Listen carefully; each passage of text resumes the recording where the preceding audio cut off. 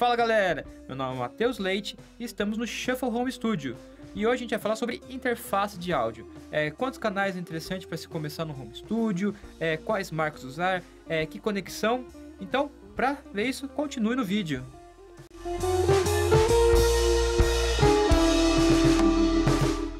Antes de mais nada, é, se você gosta de home studio, quer saber como criar o seu e tem dúvidas sobre os equipamentos, se inscreva no nosso canal. É, toda terça-feira tem material novo aqui no nosso canal falando sobre essa temática do, da gravação, é, mixagem, edição, home studio e tudo mais.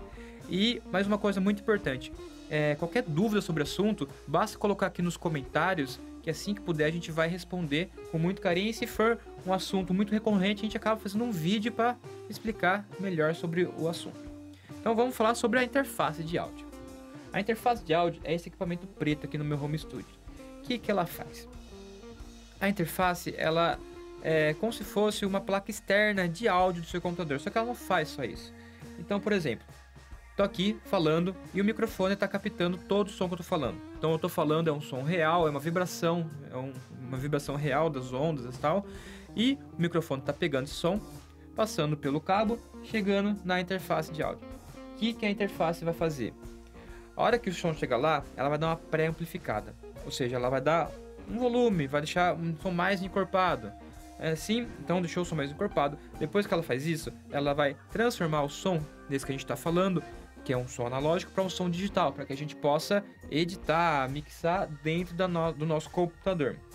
E depois disso, o que, ela faz? Ao contrário, ela é, transforma o som digital que está no computador em um som analógico, passando para nossas caixas para a gente ouvir. Tudo isso em questão de segundo. Então, ela pega o som do microfone, é, dá uma encorpada no som, transforma ele de analógico para digital para a gente editar, depois transforma de digital para analógico para a gente ouvir.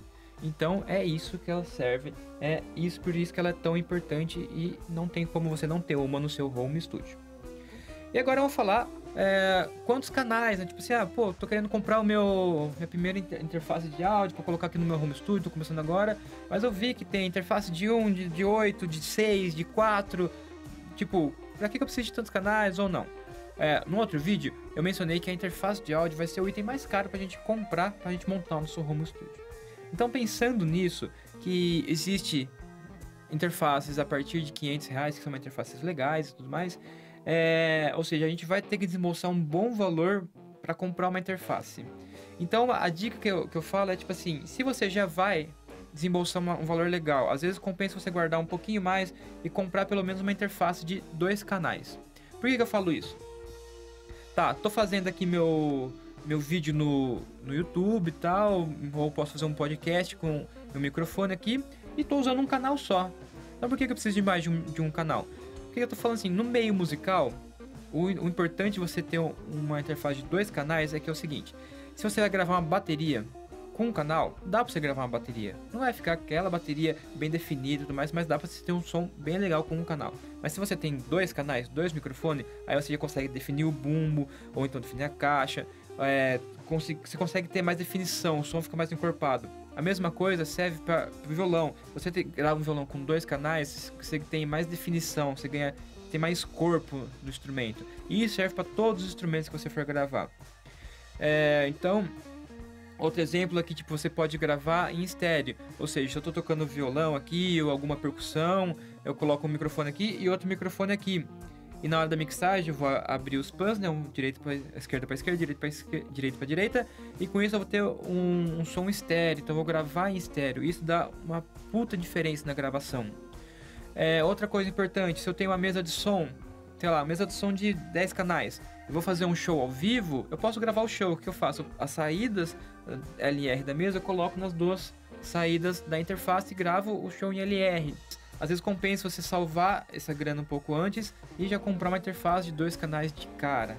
Ah, e por que, que eu falo isso? Porque você, beleza, você fala, não, tô com pouca grana, vou comprar a de um canal. Tudo bem, não tem problema, vai funcionar muito bem, você consegue fazer grandes composições.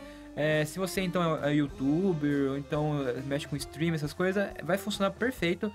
É, só que eu falo o seguinte, se você tá querendo é, fazer um home studio mesmo, brincar e depois pretende é, seu home studio, tentar crescer ele para gravar coisas maiores, bandas maiores tudo mais, é, com dois canais você grava muita coisa. e com um canal você logo logo, tipo assim, vou comprar uma mesa, uma interface hoje de um canal e vou começar a gravar. Vai dar uns seis meses você tá querendo uma interface com mais canais. Então é isso que eu falo. Se você comprar uma interface de dois canais, provavelmente você vai demorar. Você vai usar ela muito mais tempo até você sentir necessidade de um terceiro, de um terceiro canal. Então, é, essa é a minha dica. Se você tiver condições, lógico, é invista numa interface de dois canais. É, porque muitas vezes a gente consegue fazer até um som ao vivo. Então, sei lá, vou fazer um vídeo ao vivo para colocar no YouTube, nas minhas redes sociais, como músico. É, eu coloco o microfone para voz e uma entrada de violão. Pronto, se eu, tenho, se eu tenho um canal só, eu coloco um microfone só. Dá certo, dá, só que a gente é, perde definições. Então, o que eu trataria é, exato, tipo, o microfone, o microfone da voz só a voz, o microfone do violão só violão, eu tenho que tratar uma coisa num só. Então a gente ganha mais definição com mais canais e a gente ganha, o som ele se torna mais encorpado e tudo mais, que a gente consegue trabalhar melhor as frequências separadas de cada instrumento. Tá, falando então agora das entradas, vamos falar agora das conexões. Uh, essa minha interface que eu uso é uma conexão FireWire. É uma conexão FireWire é uma conexão que já está saindo do mercado, não existe mais no mercado agora. É interfaces com essa conexão, uma conexão já antiga. É, ela foi substituída pela Thunderbolt. A FireWire e a Thunderbolt são conexões que vieram para ser mais rápidas que o USB e foram inventadas para trabalhar com o computador Mac. Mas não quer dizer que não funcione com Windows. Como eu disse no meu último vídeo, eu uso um Windows no meu estúdio e uso uma entrada FireWire e funciona 100%, não tem problema nenhum. Uh, e a, a, mais comum é a interface de entrada USB. A USB é a interface que eu mais recomendo para você que está começando e quer investir num, numa interface. Por quê? Ela é a mais comum. Então, você, com certeza o computador vai ter uma entrada USB. Então, dica importante: antes de comprar uma interface, lembre-se de olhar as entradas que tem no seu computador. Então, tipo assim, só tem FireWire ou só tem Thunderbolt ou só tem USB, compra a que vai encaixar melhor, porque você não precisa colocar um adaptador lá. Então, é, a USB é mais recomendável porque é o mais comum em todos os computadores. É, já existe USB há sei lá quantos anos. A FireWire é uma, uma, boa conexão, só que hoje em dia não tem mais. Ou seja, se eu quiser vender a minha, provavelmente eu consegui um valor bem abaixo do que, do que ela vale, porque muitas pessoas não têm mais a FireWire, não, essa conexão já está deixando de existir por causa que o Thunderbolt está no lugar. Então, se daqui a um tempo você tem uma, a sua USB, você quer vender, acho muito difícil o USB sair do mercado. Ele vai ficando melhor, mas a conexão é a mesma, ele vai encaixar. Então, por isso que eu, eu acho que é interessante você ter uma conexão de, de uma interface com USB. Eu acho ela melhor para quem está começando, a não ser que você já saiba muito especificamente o que você quer. Então, tipo assim, já, já tem um anos de estúdios, então eu quero especificamente aquela interface, ela tem uma interface que não é USB, mas eu sei que ela não é USB, então eu quero por causa disso, disso, disso. Fora contrário, eu incentivo você a pegar uma interface com USB. Uh, outra coisa marcas, né? Quais são as marcas mais usuais de interface? Uh, vou deixar alguns links aqui na, na descrição do vídeo de, de marcas de que são interessantes para começar um home studio. É, lembrando que eu não sou, não faço propaganda de nenhuma marca, assim, né? É, quem dera fosse patrocinado pela Foxrite, sei lá. Mas é, eu não faço propaganda porque eu ganho por isso, eu só estou indicando as que são as marcas mais convencionais que já são usadas há muito tempo no mercado as marcas que são mais é, conhecidas, que já têm anos no mercado e que vão oferecer um material de qualidade são Foxrite, a minha aqui é uma Foxrite. Um, temos a Pressona, que tem excelentes qualidade. A Behringer, muita gente fala mal da Behringer. Mas, gente, eu tenho colegas, tenho estúdios que usam Behringer há muito tempo. Tem uma qualidade muito boa e não dá defeito. Então, tipo assim, é, falam que Behringer você tem, pode dar sorte ou dar azar. Tipo assim, comprar e dar é, defeito depois de um mês ou comprar e viver a vida inteira. Todos os meus colegas que trabalham com Behringer nunca tiveram problemas. Então, eu sei que o pessoal fala que é uma marca meio polêmica, mas eu nunca vi alguém reclamar, tipo assim, pessoas próximas, é, estúdios que trabalham com Behringer, nunca vi de ter problema com isso. Então, por isso que eu aconselho também a Behringer entre elas. Estou voltando. Foxrite, é, Pressonos, é, a Behringer, a M-Audio, todas essas são marcas que fazem muito tempo a interface. É, você não vai ter problema, dor de cabeça de quebrar, ou então o som não ser lá grande coisa. Uh, uma dica é, fuja de comprar equipamentos de áudio de sites como o Wish ou AliExpress ou esses sites assim. Não é porque vem da China, é porque provavelmente essas máquinas são fabricadas na China. É porque são, são materiais que não são feitos de qualidade, sabe? É, são cópias, muitas vezes são cópias do original. Então, é, opte sempre por comprar de um revendedor que você conhece, de uma loja física, é, que você tipo, conhece o, o, revendedor que tem nota fiscal, porque é, no meio do áudio existe muita falsificação. É, de interface de áudio não tanto, mas microfones existe bastante.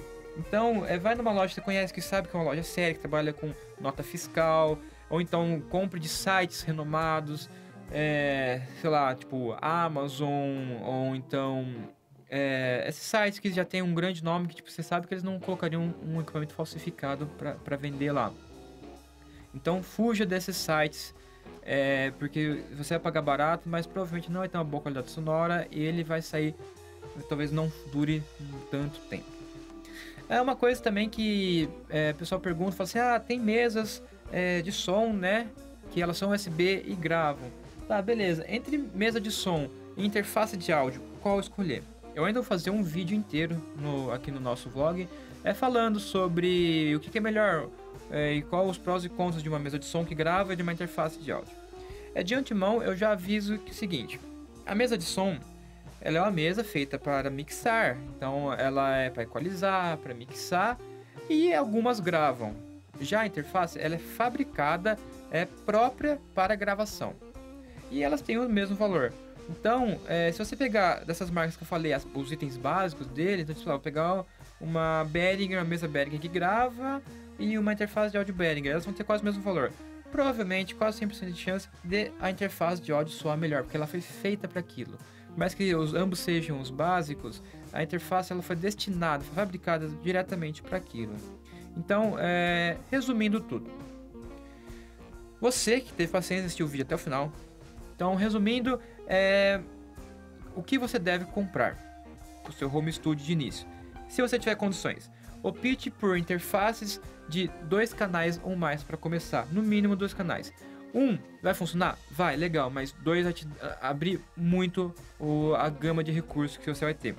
Lembrando que tem que ter pelo menos um canal com Phantom Power para ligar esses tipos de microfone. Então, a interface ela tem que ter pelo menos dois canais, é interessante você começar com uma interface de dois canais. Um, um dos canais tem que ter Phantom Power. Uh, de preferência, inicie com uma, uma interface com conexão USB com o seu computador, que é mais comum de todos. E opte pelas marcas mais tradicionais, que são Foxrite, Presonus, Behringer e M-Audio.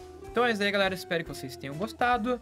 Uh, até a próxima. Deixe o like, não se esqueça de se inscrever no canal e comente qualquer dúvida. Abraços!